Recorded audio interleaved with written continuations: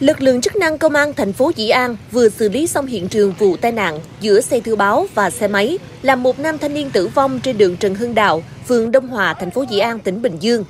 Theo thông tin ban đầu, khoảng 18 giờ 30 phút ngày 24 tháng 4 năm 2022, một thanh niên 26 tuổi quê Bình Định chạy xe máy hiệu Wider trên đường Trần Hưng Đạo hướng từ quốc lộ 1K đi đường Nguyễn An Ninh. Khi đến đoạn gần ngã ba cây lơn thuộc phường Đông Hòa, thành phố Dị An, xe máy va chạm với phần đầu bên trái xe thư báo đang lưu thông chiều ngược lại. Cú va chạm làm nạn nhân cùng xe máy văng ra giữa lộ, nạn nhân tử vong tại chỗ. Tại hiện trường, chiếc xe máy hư hỏng nặng, đầu bên trái xe thư báo cũng bị hư hỏng. Nhận được tin báo, lực lượng chức năng công an thành phố Dị An đã có mặt điều tiết giao thông, điều tra vụ tai nạn. Đến hơn 21 giờ cùng ngày, hiện trường vụ tai nạn cơ bản được xử lý.